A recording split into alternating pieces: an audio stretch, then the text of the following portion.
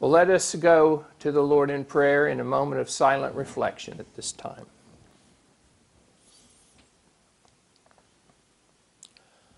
Oh God, thank you for this day. It is not a day that is exactly as we expected a few days ago, but nonetheless, this is the day. This is the day that you've made. And so in this day, let us rejoice and be glad. Glad for our blessings, glad for our fellowship with one another, our fellowship with you, and grateful for your Son. Lord, as we consider that Jesus gathered courage to come into public in the city of Jerusalem, we reflect that uh, now we need to gather courage, not to go out into public and into, into crowds, but courage to, uh, to pull away physically, not spiritually or mentally, but to see that as, as an act of courage and an act of service.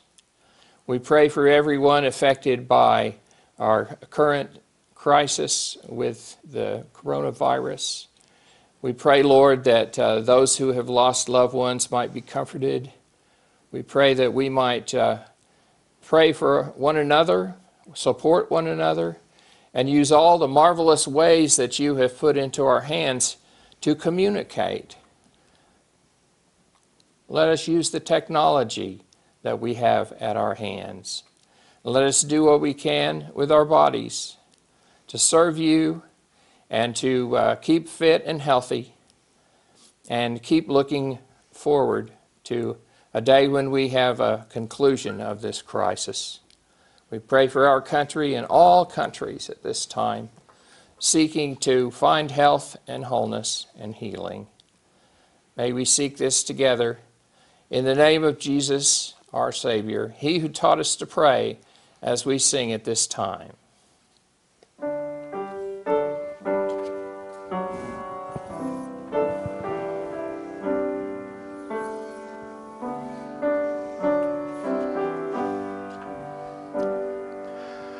Creator God, we bless your name. May your reign come, your will be done here on this earth as it is in heaven. Creator God, bless your name. Give us today our daily bread. Forgive us all our sinful ways. Help us forgive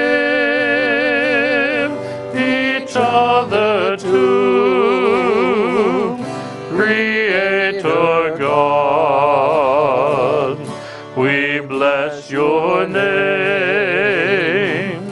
in times of trial.